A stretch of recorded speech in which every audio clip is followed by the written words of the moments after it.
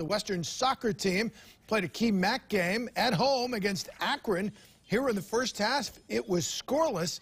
And then Akron, with all kinds of pressure in front, ends up on the foot of Joel Sangwa, and he finds the back of the net, 1-0 zips. Broncos had a golden chance here in the second half. Watch the cross in front, just off the mark.